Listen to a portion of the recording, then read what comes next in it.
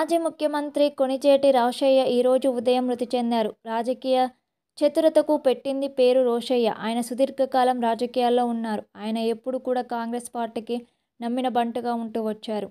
ఆయన రాజకీయ జీవితంలో ఎన్నో రికార్డులు తన పేరిట లిఖించుకున్నాడు. రోషయ్య ఎవరికి అయినా మాట ఇస్తే ఆ మాట తప్పరు అన్న పేరు ఆయనకు ఉంది.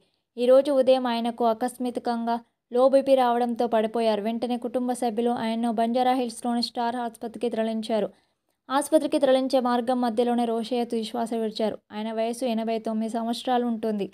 గుంటూరు జిల్లాలోని వేమూరులో జూలై పంతొమ్మిది వందల ముప్పై మూడులో ఆయన జన్మించారు.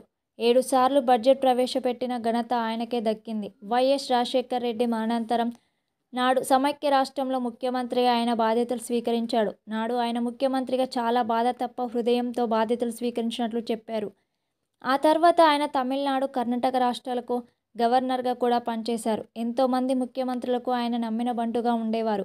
రోషయ్య నెదురు మిల్లి జనార్దన్ రెడ్డి కోట్ల విజయభాస్కర్ రెడ్డి వైఎస్ రాజశేఖర్ రెడ్డి ఆ తర్వాత కిరణ్ కుమార్ రెడ్డికి కూడా అత్యంత నమ్మకంగా ఉన్నారు.